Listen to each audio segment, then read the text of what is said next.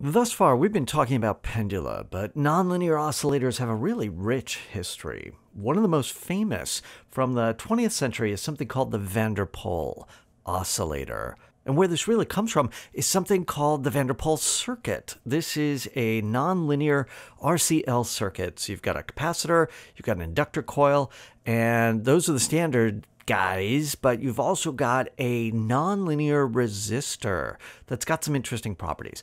Blah, blah, blah, blah, blah. Electrical engineering. Let's make this a little bit simpler.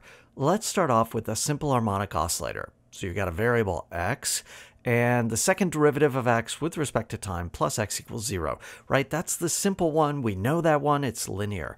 But now what you do is you add some friction, some nonlinear damping to this equation. The model, the second order differential equation that one gets as a result is the van der Pol equation.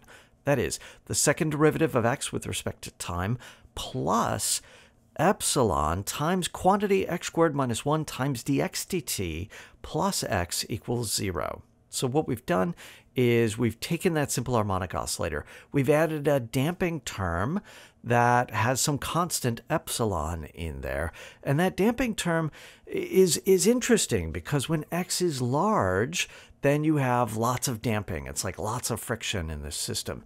But when x is small, that x squared minus 1 becomes negative.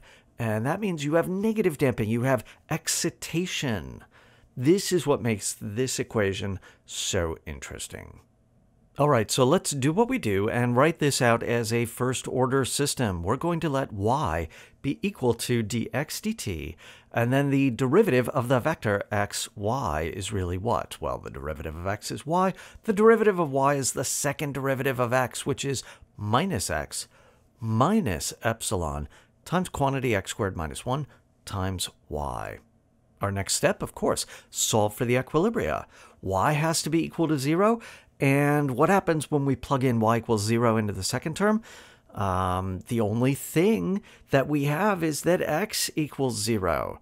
Th that's it. The only equilibrium we have is at the origin. Wow, this system is going to be so easy to work with. Just one equilibrium.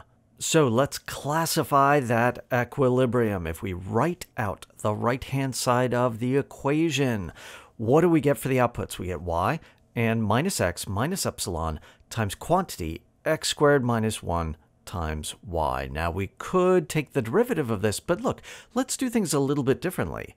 Let's Taylor expand this at the origin and just pull out the obvious linear terms.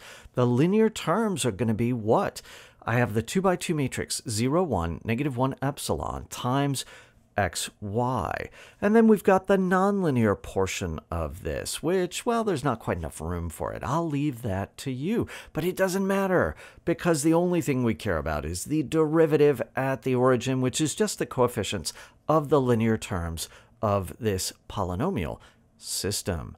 This derivative has trace equal to epsilon, which is a positive constant, the determinant is equal to 1, which is also positive, and that means we've got a center at the origin. This is going to be just like the nonlinear pendulum we looked at, right? Maybe not, because remember, when you have a center, you've got some additional work to do. And this system, because it has damping, nonlinear damping, it is not a conservative system. Those nonlinear terms that we ignored before actually make a really big difference. So, how do we examine this system and figure out what is happening at the origin? Well, there are some analytical approaches to doing so. We'll get to that a little bit later. For now, let's just take a look. Let's run a simulation, pick a nice value of epsilon, not too big, and see what we can see. And what we see is that the origin is in fact a spiral source. Those nonlinear terms contribute to an instability there. This is maybe not surprising since you have that negative damping for small values of x. But because you have positive damping for large values of x, what does that mean? That means that far out, everything is getting sucked in. You're not running off to infinity So if you're getting pushed away from the origin, you're getting pulled in from infinity. What's happening long term in this system? That is a little bit of a mystery that we are going to get to eventually.